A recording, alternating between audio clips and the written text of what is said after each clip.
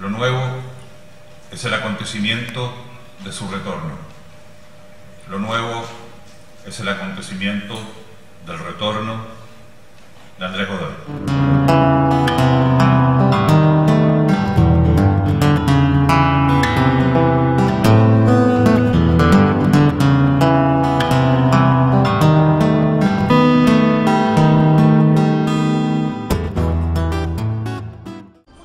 Especial, muy particular. Germán Chisel nos trae esta historia única y luego conversamos con él, con el protagonista acá en el estudio de Bienvenidos. Vamos a ver. Él es trabajador, eh, no se quedó llorando en su casa, sino que luchó para tener un espacio y para, para ser considerado como lo que es, un gran músico. Y para mí Andrés es un niño, pero un niño maduro, con, con esa, con esa fuerza espiritual que no me cabe otra explicación de salir adelante e imponerse. A él se le siente en el, en el espíritu eh, de lo que significa la música chilena como un maestro.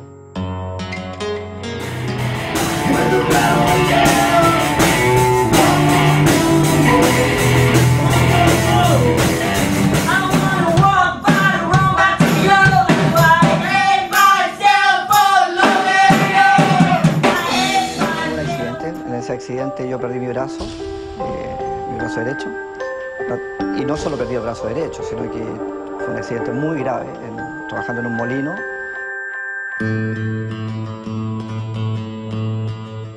El día que me di cuenta que podía tocar, que era presionando las cuerdas de la guitarra, el día que me di cuenta de aquello, se abrió un nuevo mundo para mí, obviamente, porque era el mundo de la posibilidad de hacerlo, de concretarlo. O sea, no estaba la mano derecha, pero sí estaba la posibilidad de una nueva técnica. En mi caso, practicando esta locura, logré arrancarle sonido a la guitarra y más tarde logré desarrollar habilidades que iban más allá de solo golpear la guitarra. Y esto en el tiempo comencé a practicar muchas horas diarias, muchísimas horas diarias, escondidas de mis padres para no hacer que ellos sufrieran o, o vieran que su hijo, además de tener un accidente, se estaba volviendo loco. Entonces lo hacía como a escondidas.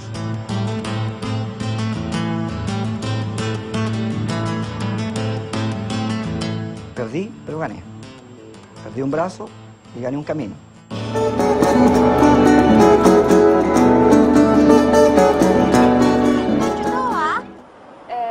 Andrew 做袋系 Andre 个袋 Spanish 嚟㗎。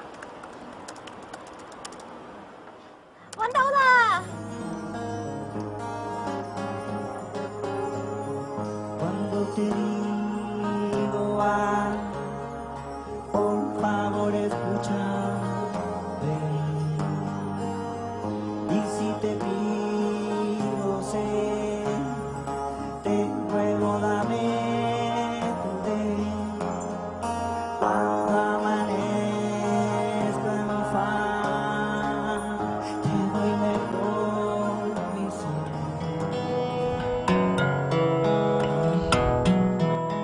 La vida a uno siempre le propone oportunidades, en todo momento.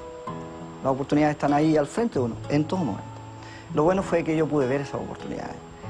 Pero esas oportunidades fue a través de cometer uno y dos y quinientos errores y equivocaciones y someterme al absurdo de hacer cosas como intentar volver a tocar guitarra. Yo fui donde mi profesor, un profesor en San Antonio, con mi guitarra, le golpeé su puerta, el profe, vengo a que me indique un camino, cómo podría tocarse. El profe me dice, eh, no hay un camino. Entonces, no había tenido solo un accidente, sino tenía muchos nos en mi vida. El no de que no se podía, no podía tocar guitarra, no que no podía su- subir un árbol, no que no podía na- eh, nadar. Había muchos impedimentos. Pero mi abuela, mis abuelos, mi abuela, mi abuelo me regaló mi guitarra y mi abuela me, me regaló una frase de oro, que es posible lo imposible. Después de mi accidente, esa frase se transforma en mi camino, en el fondo.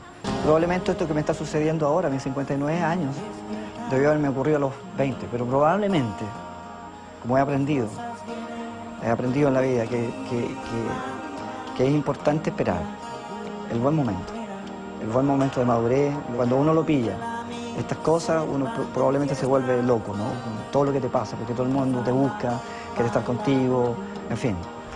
Afortunadamente me sucede ahora con esta madurez es donde tengo la opción yo de decidir qué, quiero- qué es lo que quiero hacer.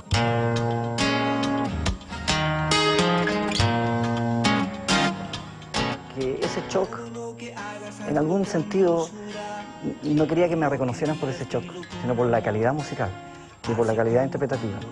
Sí, soy único en que toco con, una mano, pero para mí lo importante es el legado, es lo que queda de ahí.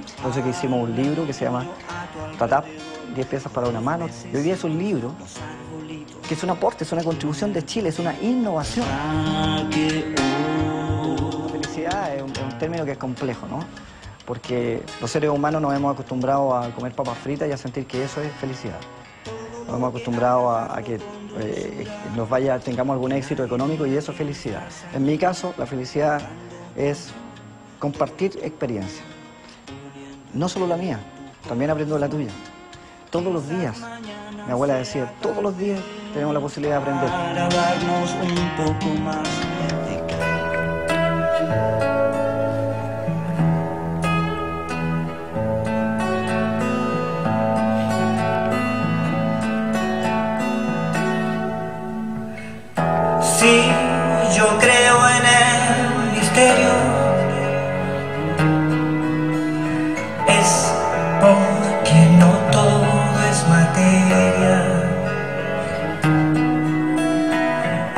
No necesito monasterio